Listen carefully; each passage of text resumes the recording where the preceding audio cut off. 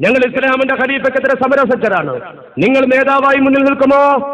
മഹാനായ അബൂദർ റതി അള്ളാഹു തലാൻഹു പറഞ്ഞ മറുപടി എന്താണ്? നിങ്ങൾ എന്താണ് മനസ്സിലാക്കിയത്? അബൂദറും ഉസ്മാൻ തങ്ങളും തമ്മിൽ അഭിപ്രായ വ്യത്യാസമുണ്ട്. ആ അഭിപ്രായ വ്യത്യാസം ഇസ്ലാമികമാണ്. അങ്ങനെ പറയേണ്ടിയിരുന്നില്ലേ ഇവർ? കണ്ണിയത്തുസ്താദും ഞങ്ങളും തമ്മിലുള്ള അഭിപ്രായ വ്യത്യാസം ആദർശപരമാണ്. ആ അഭിപ്രായ വ്യത്യാസം ഇന്നതാണെന്ന് പറയാൻ അവർക്ക് കഴിയില്ല. അതുകൊണ്ട് ഉസ്താദിനോട് ഞങ്ങൾ പിണങ്ങി നിൽക്കുന്നത് ഞങ്ങൾ തന്നെ തീർക്കുമെന്ന് പറഞ്ഞുകൊണ്ട് മുന്നോട്ട് വരണമായിരുന്നു. ഉസ്താദിന്റെ മുമ്പിലേക്ക് വരണമായിരുന്നു പകരം എന്ത് ചെയ്തു? വേറെ സംഘടന ഉണ്ടാക്കി. ബഹുമാനപ്പെട്ട ചെറുശ്ശേരി ഉസ്താദ് പറഞ്ഞതുപോലെ അരവിന്ദാക്ഷമേനന്റെ ഉപദേശം കേട്ട് പുറത്തുപോയി ആ ഉപദേശം കേട്ട് പുറത്തുപോയവർ ഓർക്കുക. കൂഫയിൽ നിന്നും വന്ന പ്രതിനിധി സംഘം നേതാവാക്കി ഉയർത്താൻ വേണ്ടി ബഹുമാനപ്പെട്ട അബൂദർ തങ്ങളെ സോപ്പിട്ടപ്പോൾ നിങ്ങൾ ഞങ്ങളുടെ നേതാവായാൽ മതി കാര്യം ഞങ്ങൾ ഏറ്റുവെന്ന് പറഞ്ഞപ്പോ അബൂദർ റതി അള്ളാഹു തലാനുക്ക് പറഞ്ഞ മറുപടി വല്ലാഹി ലൗ അന്ന ഉസ്മാന സ്വലബനി അലാ ഖശബത്തിൻ ഉസ്മാൻ എന്നെ കൊണ്ടുപോയി ഒരു കുരിശിൽ തറക്കാൻ ഉത്തരവിട്ടുവെങ്കിലും അയാൾ എന്റെ നേതാവാണ് അഭിപ്രായ വ്യത്യാസം വേറെ. ആ നേതാവിനെ ഞാൻ അംഗീകരിക്കും.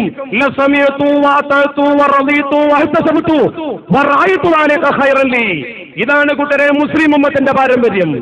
ആയിരക്കണക്കിന് മഹല്ലുകൾ ഈ മുസ്ലിം ഉമ്മത്തിന്റെ ദീനി ചൈതന്യ ധന്യമായ പ്രവർത്തനം നടക്കുന്ന രീതിയിൽ സമത്വ കെട്ടിപ്പടുത്തുണ്ടാക്കിയിട്ട് ഏതെങ്കിലും ഇസ്ലാമിക വിരുദ്ധ ശക്തികൾ വന്ന് നിങ്ങൾക്ക് ഞങ്ങൾ പിൻബലം തരാമെന്ന് പറയുമ്പോ ചെങ്കടിക്ക് പിന്നിൽ അണിനിരന്നുകൊണ്ട് രാഷ്ട്രീയ ലാഭത്തിന് വേണ്ടി കേവല സ്ഥാനമാനങ്ങൾക്ക് വേണ്ടി മഹല്ലുകളും മദ്രസകളും മറ്റുള്ളവർക്ക് തീരെഴുതി കൊടുക്കാനാണ് നിങ്ങളുടെ ശ്രമമെങ്കിൽ പ്രബുദ്ധരായ സുന്നി കേരളം അത് അനുവദിക്കുന്ന പ്രശ്നമേ ഇല്ല എന്ന് ആദർശബോധത്തോടെ പറയാൻ ഞങ്ങൾ ആഗ്രഹിക്കുന്നു. അത് ഈ സമൂഹത്തിന്റെ തീരുമാനമാണ്. നിങ്ങൾ ഈ മുസ്ലിം സംഘർഷകതി ആക്രമിക്കുമ്പോൾ പിന്നിൽ നിന്നും ചിരിക്കാനും പ്രോത്സാഹിപ്പിക്കാനും കൊടിപിടിക്കാനും ആരാ വരുന്നത്? സിറാജ് ദിനപത്രത്തിൽ നിങ്ങൾ എഴുതിയ വാക്ക് നോക്കൂ. മുസ്ലിം ഉമ്മത്തിന്റെ ഒരു നായകനോട് നിങ്ങൾ എഴുതാൻ പാടില്ല. വേദനയോട് കൂടിയാണ് നിങ്ങൾ പറയുന്നത്. പാണക്കാട് സയ്യിദ് മുഹമ്മദ് അലി ഷിയാബ് തങ്ങളെ കുറിച്ച് ആയിരത്തി തൊള്ളായിരത്തി എൺപത്തി ഒമ്പത് മെയ് ഇരുപത്തി ഒമ്പത് തിങ്കളാഴ്ച സ്വരാജ് പത്രം എഴുതി. സുന്നികളുടെ പേര് നടത്തുന്ന പത്രം. എന്താ കൂട്ടരെ സുന്നി? അള്ളാന്റെ റസൂലിനെ സ്നേഹിക്കലല്ലേ? പ്രവാചകരുടെ കുടുംബത്തെ സ്നേഹിക്കലല്ലേ? ഇതില്ലാത്തൊരു സുന്നി ഉണ്ടോ ആ സുന്നത്ത് ജമാഅത്തിന്റെ പാരമ്പര്യം ധിക്കരിച്ചുകൊണ്ട് നിങ്ങൾ എഴുതിയ വാചകം എന്താണ്? ഇരുപത്തഞ്ച് പൈസയുടെ മെമ്പർഷിപ്പ് പോലും എടുക്കാത്ത കാലത്ത് വന്യപിതാവ് മരണപ്പെട്ടു പോയതിനാൽ താങ്കൾക്ക് ലഭിച്ച പദവിയാണ് ലീഗിന്റെ സ്റ്റേറ്റ് പ്രസിഡന്റ് സ്ഥാനം. കേരളക്കരയിലെ ദീനിന്റെ അധപ്പതനത്തിന്റെ തുടക്കമാണ് അത് എന്ന് അന്ന് ഞങ്ങൾ ആരും കരുതിയില്ല. കാരണം കൊടപ്പനക്കൽ തറവാട്ടിന് ഈ ഗതികേട് വരുമെന്ന് ആരും മോഹിച്ചില്ല പക്ഷേ പ്രതീക്ഷയ്ക്ക് വിപരീതം സംഭവിച്ചു. താങ്കൾ കാരണമായി കേരളത്തിലെ ദീനി സ്ഥാപനങ്ങൾ നശിക്കുന്നു. പ്രവർത്തകർ തമ്മിൽ തല്ലുന്നു. എല്ലാവർക്കും പറയാനുള്ള കാരണം ഒന്നാണ്. കൊടപ്പനക്കൽ കുട്ടിയാണ് ലീഗിന് നേതൃത്വം കൊടുക്കുന്നത് ഇത്തരക്കാരുടെ പാപത്തിന് അവർ തന്നെ മറുപടി പറയേണ്ടി വരും. എന്നിട്ടൊരു താക്കീത് തങ്ങളെ കാറൂണിനെയും ഫിറാവുനെയും പാഠം പഠിപ്പിച്ച അള്ളാഹുവിന് ഭൂമുഖത്ത് ആരും വലിപ്പമേറുകയില്ല. ബഹുമാന്യരായ സുന്നത്ത് ജമാഅത്തിന്റെ പേരിൽ കൊടിപിടിക്കുന്ന പ്രവർത്തകരെ കാറൂണിനെ പാഠം പഠിപ്പിച്ചതുപോലെ പാണക്കാട് തങ്ങളെ പാഠം പഠിപ്പിക്കുമെന്ന് പറയുന്ന നിങ്ങളോട് ഞങ്ങൾ പറയുന്നു.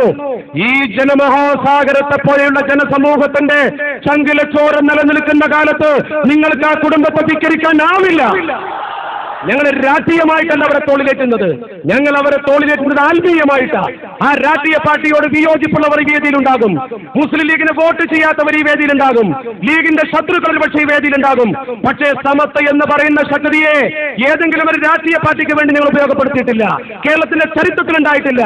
ആത്മീയ നേതാക്കളെ ധിക്കരിച്ചുകൊണ്ട് അഷ്റഫുൽ ഹൽക്കിന്റെ കുടുംബത്തിനെതിരെ ധിക്കാരം പ്രകടിപ്പിക്കുന്നവർ ഒരുപാട് തങ്ങന്മാരും പ്രവർത്തകരും ഉണ്ടെങ്കിലും എന്തേ കൊടപ്പനക്കൽ മാത്രം ഇത്ര വിശ്വാസം ജനങ്ങൾക്ക്? അത് അല്ല കൊടുക്കുന്ന നേട്ടമാണ്.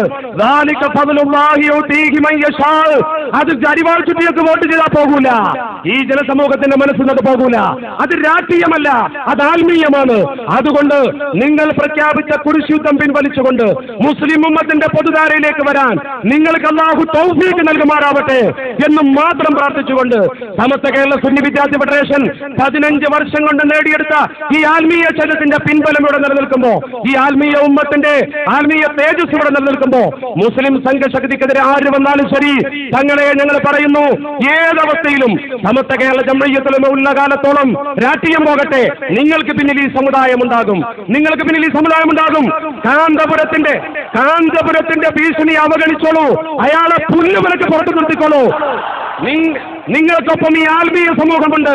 മഹാനായ സമത്വ സെക്രട്ടറിയുടെ പ്രാർത്ഥനയുണ്ട്. ഈ ഉമ്മത്തിലെ പണ്ഡിതന്മാരുടെ പ്രാർത്ഥനയുണ്ട്.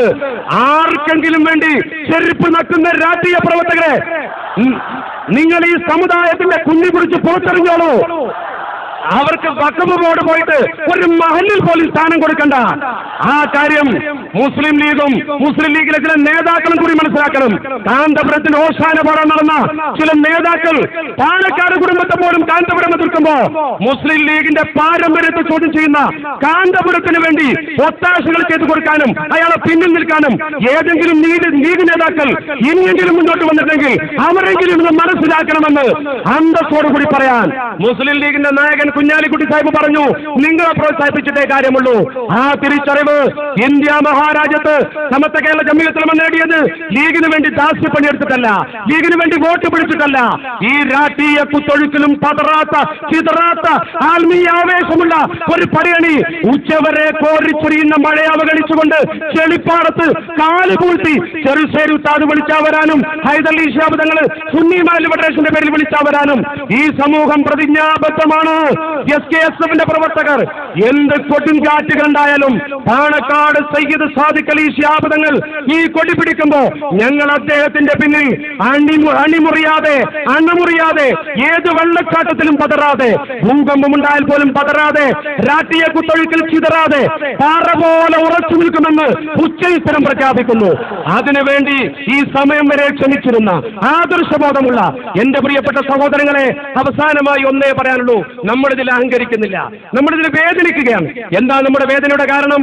നമ്മുടെ മഹൽ പള്ളി മദ്രസ അതൊക്കെ ഇവിടെ ഉണ്ടാക്കാൻ കട്ടപ്പെട്ടു പോയ ഒരുപാട് ആലിമ്യങ്ങളുണ്ട് മഹാനായ സി എച്ച് ഹൈദ്രോസ് പുറമോഹുമർക്കഥ മഹാനായ എം ബഷീർ മുസ്ലിയാറിന് പുറമോഹുമർക്കഥ ആ പണ്ഡിത മഹത്തുക്കൾ ഗ്രാമങ്ങളിൽ ഇറങ്ങി വന്നുകൊണ്ട് ജനസമൂഹത്തിന്റെ മനസ്സുകളിൽ ആത്മീയമായ ആവേശം ഉണ്ടാക്കിക്കൊണ്ടാണ് ഈ സംഘടനയെ കെട്ടിപ്പടുത്തത്. അവരൊക്കെ കാണിച്ചൊരു പാരമ്പര്യമുണ്ട്. അവരൊക്കെ നിന്ന ഒരു സ്ഥാനമുണ്ട്. ആ സ്ഥാനവും ആ മാനവും നമ്മുടെ പ്രിയപ്പെട്ട സമൂഹം വകവെച്ചു കൊടുത്തിട്ടുണ്ട്. അതനുസരിച്ചുള്ള പ്രവർത്തനങ്ങൾ നടത്താൻ അള്ളാഹു നമുക്ക് തോഫീക്ക് നൽകുമാറാവട്ടെ. അനിൽ അലൈക്കും വറഹ്മത്തുള്ളാഹി വബറകാതുഹു. സഹോദരൻ